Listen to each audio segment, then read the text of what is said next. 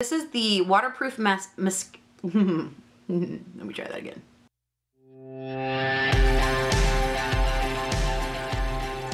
Hey everybody, welcome back. And today is one of those videos that we like love to hate to film.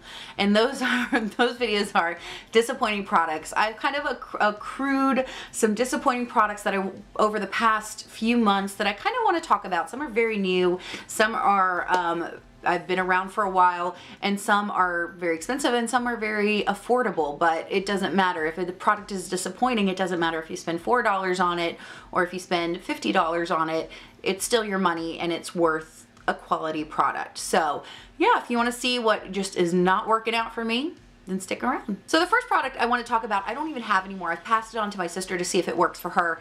And it is the Benefit Hello Flawless Liquid Foundation. I've heard so many people say amazing things about that foundation. I was in the shade I'm So Pure and I got this on a recommendation from um, an employee at Ulta and she was so sweet and she this was like her foundation that she just swore by.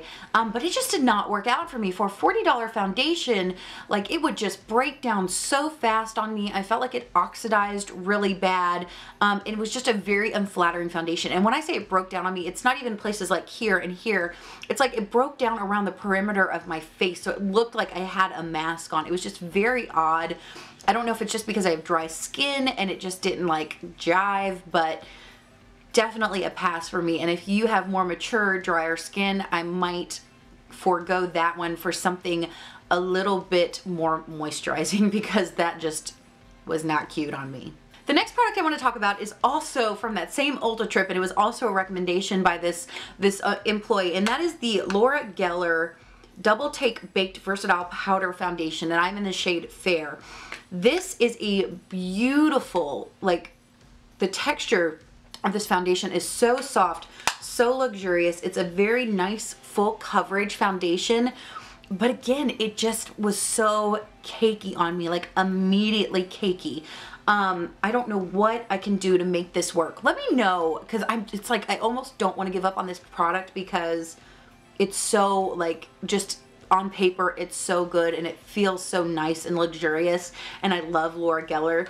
Um, so I don't know. I might keep this around and try it a little bit more, but this I would put it on and it's like it immediately just exacerbated my pores, my fine lines. It made me look cakey. It made me look like super, super over the top, just made up. And it was just not a flattering look for me. So this is definitely a bummer as well because this was also like a $40 powder foundation. So I'm going to keep this around and see if I can find a way to make it work. If you guys have this product and really love it, let me know. Um, again, it could just be my dry skin and I'm going to keep it around for a little bit longer, but if it doesn't work, I'm going to pass it on because this is so disappointing. This is like my cry for help. So please, if you use this foundation, let me know. Give me some tips down below. There are a lot of foundations in this video, guys. The next one I want to talk about is this one, and this is a drugstore foundation. This is the Nuance by Salma Hayek Liquid Flawless Finish Liquid Foundation with Skin Adapting Technology. Now, this foundation is it is in the shade Light Cool. I love the packaging. The price on this is really good. It's about $14. I've had this for a while. And what I find about this foundation, um, is that I love it. Again, I love it in theory. I love the packaging. I love the color match. I love the coverage, but this foundation will not set down. It is it doesn't even matter if I set it with a powder. The tackiness of the actual foundation just seeps through and as I wear this throughout the day, I feel like my face is sticky, which again is so disappointing because it's such a, a, a beautiful coverage. It looks nice, it looks natural, but it just doesn't set down. I don't know if I have to set this maybe I should maybe I should set this with this and just be like super coverage because when I use just any kind of normal powder that I would use with a foundation the Nearly Naked from Revlon the uh, Maybelline Fit Me Press powder my MAC Mineralized Skin Finish I just cannot make this the tackiness go away, which for me, for somebody with really dry skin is very surprising because you would think my my skin would just soak up all that moisture, but there's something about this foundation where when I put it on, it sits on my skin and it's not that it doesn't look good, it's just that it just doesn't I guess soak up into my skin. And so it's just still that tackiness throughout the day and it really bugs me which is really a bummer because it's other than that it's a great foundation All right, guys, I've got one more foundation and then we're moving on, I promise. Um, so the next foundation I want to talk about was actually sent to me um, via Influenster. So this was PR. This is the Hourglass um, Seamless Vanish uh, Seamless Vanish Finish Foundation. I think that's what it's called. I'll, I'll put it down below. Um, and everybody is raving about this foundation and I really don't know why. This foundation, when you put it on, it is, again, I will say this, you put it on and it blends out beautiful. It's super natural coverage but super full coverage at the same time. It reminds me very much of my NARS All Day Luminous Wear foundation. But the problem with this foundation is that it's a like $54 foundation that I don't get more than an hour's wear out of before it starts breaking down. And I thought that maybe it was because it is formulated to work with the Hourglass Veil Primer, but I don't know, I feel like a foundation should be able to perform decently, especially at this price point with any primer or with, you know, with some primers and not just one specific primer. And I have got the Veil Primer and I've tried it with that and it still just doesn't, it doesn't wear well. It gets really, if, and if you have dry skin, if you have any kind of dry spots, it's going to grab onto those dry spots. Again, it's going to break down right around my T-zone. And again, I have dry skin, so I don't know why I'm not getting a, a longer wear time out of it. Like usually with the foundation, I can wear it for, you know, a decent amount of time just because my, my face doesn't eat makeup like people with, you know, normal to oily to combination skin will. My, my skin is very dry.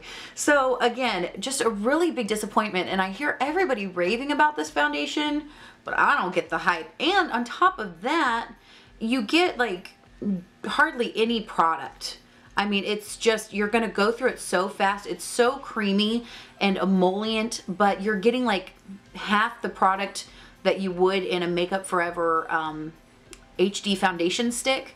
And it's, it's just as expensive, if not more so. And I just, I don't really understand the hype of this product. Yes, it's beautiful. It is a beautiful packaging. Again, it goes on flawlessly but the wear time just absolutely stinks out of it. I will use this every now and then if I'm wanting to take um, like an Instagram photo, but that's about all it's good for. So, so if you have dry skin like I do, I don't know, maybe there's something with the dryness in my skin where it just doesn't blend in and kind of melt into my skin, if you know what I mean. So if you have dry skin like I do, I would definitely stay away from this. But let me know what your thoughts are down below because I know there's some people out here that have this because people have been raving about this foundation, but it just does not work for me. All right, let's move from super high-end to super affordable. And this I received in my Profusion Beauty Insider box um, a couple months ago. This is the Profusion Absolute Conceal Palette. I believe this is $4.99. I do not like this, guys. I just, I wanted to like this so bad because you guys know I love Profusion. I love the packaging. I like the colors that are in here and I love the price point, but it is just so waxy. It's, if I'm going to have a cream concealer, I want it to be creamy and blendable and emollient. And these are just so waxy um, that they kind of just sit on top of your skin. And then when you blend them out, they kind of just blend away into nothing. Like it really doesn't have any kind of coverage to it. I mean, it just kind of blends out to nothing. So the coverage is terrible on these. And because they're so waxy, I feel like they just stick to your skin instead of melting into it and blending into it. So they're gonna enhance any fine lines, any wrinkles, any anything that you don't want to you know, see the light of day, they're just going to enhance it. So this was a really disappointing product for me, which stinks because it's really affordable. But there you go. The next product I have is also from Profusion, and this was in my first um, Products I Regret video. It was a, different type of uh, mascara, but th this is the Pro by Profusion Waterproof Mascara in Blackest Black. And the first one that I got was only a dollar. I think this one was around three. I really like the packaging on it. It's really sleek. It's really nice. Um, but where my issue with that that mascara I reviewed in the last video is that it was a very dry formula. You put it on your lashes and like immediately you got black flakes everywhere. So the formula was just really super dry and flaky. This one is just too wet. I'm like Goldilocks. I know it's too wet. It's too dry.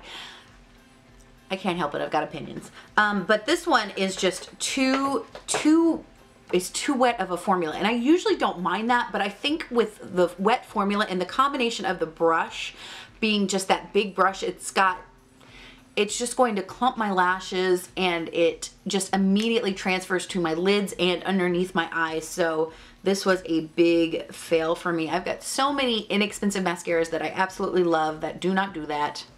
So, boo.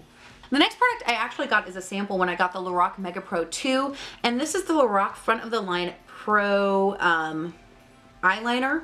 Black Eye Pencil is what it's called and I really like it. It's got a nice black color. It's creamy. It it is a retractable pencil, which is nice because you're not going to lose any product by sharpening it.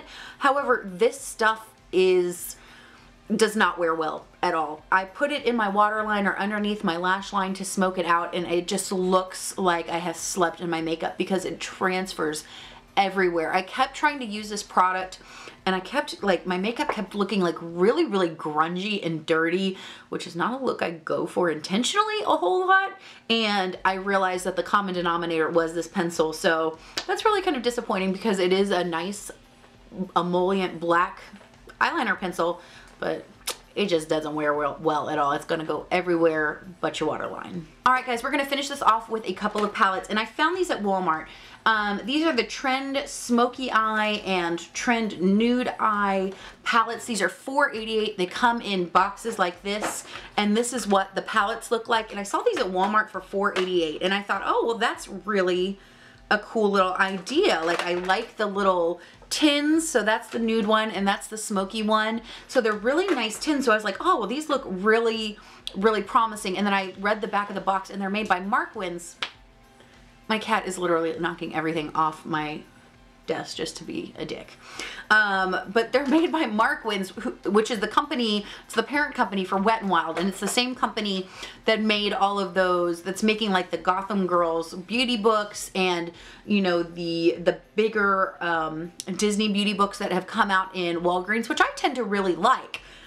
These are awful. All right, so you open the palette up and you get 12 shades and two little like flimsy applicators, which, you know, I just generally toss those anyway, and you don't get a mirror, but that doesn't bother me because it was only $4. Again, I think the tins are really ni um, nice. But the product in here is absolutely awful. I mean, the the shimmer shades, I don't know if you can see kind of around the border like this one right here how it looks like it's a really pretty black and purple shimmery shade but once you get that overspray off of it it is just a gross like dingy brown color. Like that's that's not that's not even close. And they do have oversprays in those books that I talked about, but generally the shades underneath are at least pretty. These are just dingy and dirty and gross. And the mattes in here um, get immediate hard pan, whether you use a finger or a brush. It's immediate hard pan to the point where I can't pick up any product at all with these. Like I have to really dig to get any product at all. They're patch they're patchy, they're powdery, they're chalky. These are just not good. Again, you've got some really pretty colors in here that are gorgeous, but you've got like hard pan on the mattes and that crazy overspray on the shimmers. And this black is so chunky and terrible. I just, I was like, no. I was like, I have bought so many inexpensive palettes from this brand that are so much better. These are terrible. And I know these kind of you know, you'll see these in Walmart and be like, oh, that would be cute stocking stuffer. Do save, save the money.